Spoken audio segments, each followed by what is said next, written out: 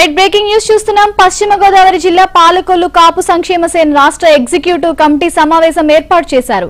కాపు సంక్షేమ సేన రాష్ట్ర అధ్యక్షుడు మాజీ మంత్రి హరిరామ జోగయ్య ఆధ్వర్యంలో సమావేశం జరిగింది. కార్యక్రమంలో భాగంగా రాష్ట్ర వ్యాప్తంగా కాపు సంక్షేమ సేన నేతలు వివిధ రాజకీయ పార్టీల కాపు నేతలు పాల్గొన్నారు. అనంతరం ప్రస్తుత రాజకీయ పరిణామాలు కాపు రిజర్వేషన్లు కాపులకు రాజ్యాధికారం వంటి అంశాలపై సమావేశంలో చర్చించుకున్నారు.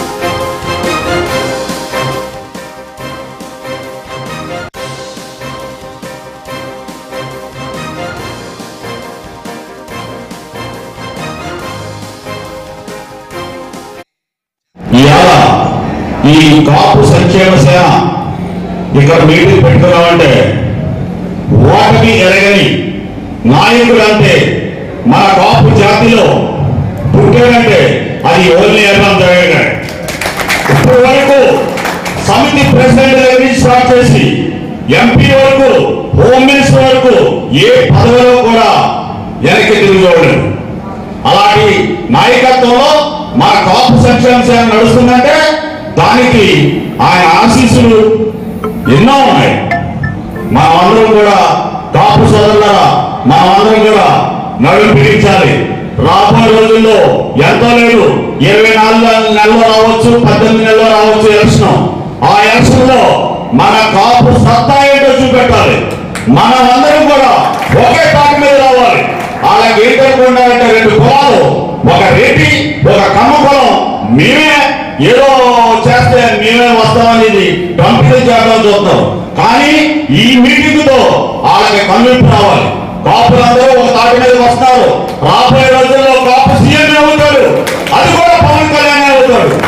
అలాగని వేరే ఎవరైనా తీసుకొచ్చి వేరే కాపు చిన్న కాపు తీసుకొచ్చి ఓట్లు చేయించాలంటే ఒక్క ఓటు కూడా పడదు. దిల్లు దమ్ము అన్న నాయకుడు ఓన్లీ పవన్ కళ్యాణ్. పవన్ కళ్యాణే సీఎం అవ్వాలా? మన కాపు జాతిని ముందుకు నడిపించాలా? ఆ జాతి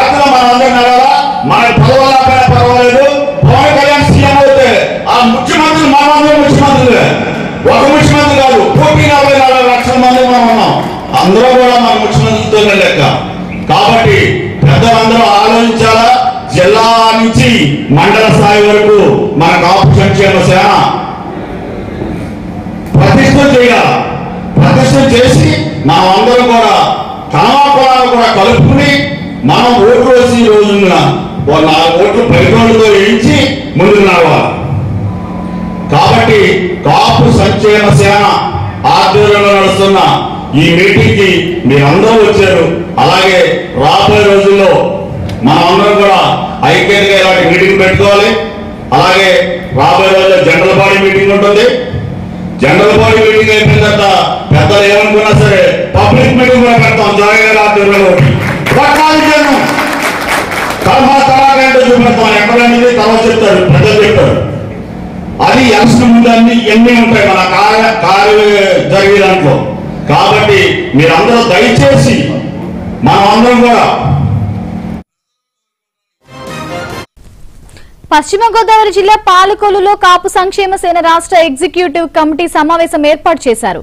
కాపు సంక్షేమ సేన రాష్ట్ర అధ్యక్షుడు మాజీ మంత్రి హరిరామ జోగయ్య ఆధ్వర్యంలో సమావేశం జరిగింది.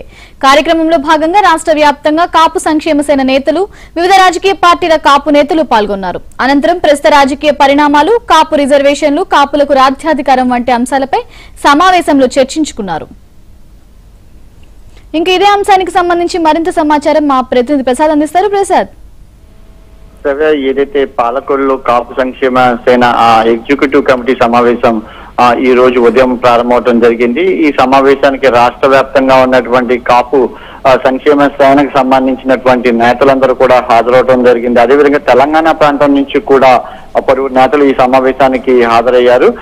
అధ్యక్షుడిగా ఈ మాజీ మంత్రి చెగొండి హజాం జాగే వ్యవహరించారు. అయితే ఆ, ఇటీవల కాలంలో రాష్ట్రంలో జరిగినటువంటి పరిణామాలు రాబోయే ఎన్నికల్లో ఎప్పుడు ఎన్నికలు వచ్చినా కూడా కాపులకి రాజ్యాధికారం ఖచ్చితంగా ఉండాలనే కోణంలో ఈ సమావేశంలో నిర్ణయం తీసుకోవడం జరిగింది. అదేవిధంగా విద్య వ్యాపార ఉద్యోగ పరంగా కూడా కాపులు గతానికంటే కూడా భిన్నంగా ఏదైతే వెనకబడిన ఇటు ఆర్థికంగా వెనకబడినటువంటి కాపులను కూడా మనం చేయి చేయి నుంచి పైకి తీసుకురావాలనే కోణంలో కూడా సమావేశంలో సభ్యులందరూ కూడా నిర్ణయించారు. అదేవిధంగా రాబోయే ఎన్నికలు ఎప్పుడు వచ్చినప్పుడు కూడా కాపు సామాజిక వర్గాల నుంచి కూడా పవన్ కళ్యాణ్ ఏదైతే ముఖ్యమంత్రి అభ్యర్థిగా ఖచ్చితంగా ఆయన ముఖ్యమంత్రిగా అయ్యే విధంగా కూడా గ్రామ స్థాయి నుంచి కూడా ఇటు గ్రామ స్థాయి నుంచి జిల్లా స్థాయి వరకు ముఖ్యంగా రాష్ట్ర స్థాయి వరకు కూడా కాపు సంక్షేమ స్థాయిన కృషి చేస్తున్నట్టు కూడా ఈ నే- పలువురు నేతలు ఈ సమావేశంలో ఆ, పిలుపునివ్వడం జరిగింది.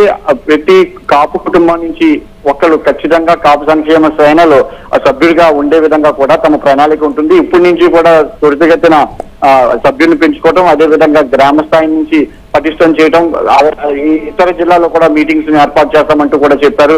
అదేవిధంగా కాపు రిజర్వేషన్ సంబంధించి కూడా ప్రభుత్వంపై ఒత్తిడి తెచ్చే విధంగా ప్రజాప్రతినిధుల వద్దకు వెళ్ళి కాపు ప్రజాప్రతినిధుల నుంచి కూడా విజ్ఞప్తి పత్రాలు ఇవ్వటం అదేవిధంగా అవసరమైతే నిరాహార దీక్షలకు కూడా తాము సిద్ధం. ప్రభుత్వానికి కోర్టు ద్వారా కూడా కోర్టు మీట్లు కూడా ఎక్కుతామంటూ కూడా ఈ సమావేశం ద్వారా కాపు సంఘ నాయకులంటూ నాయకులందరూ కూడా నిర్ణయించుకోవడం జరిగింది. అదే విధంగా ఇట్టి పరిస్థితుల్లో రాబోయే ఎన్నికల్లో మటుకు కాపులకి రాజ్యాధికారం మటుకు వచ్చే విధంగానే తమ తమ ప్రణాళిక ఉంటుందంటూ కూడా ఈ సమావేశంలో ముఖ్య నేతలందరూ కూడా నిర్ణయించుకోవడం జరిగింది.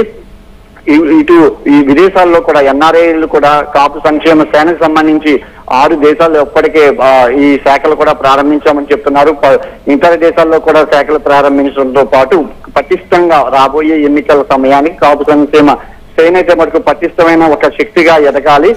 రాజ్యాధికారం ఖచ్చితంగా సాధించి చేస్తామంటూ కూడా ఈ సమావేశంలో నిర్ణయించుకోవటం. అదేవిధంగా రాబోయే ఎన్నికల్లో కాపులకు రిజర్వేషన్ కల్పించే విధంగా కూడా పార్టీలపై ఒత్తిడి తెచ్చే విధంగా కూడా వీళ్ళు ఒక నిర్ణయానికి రావడం జరిగింది Shravya.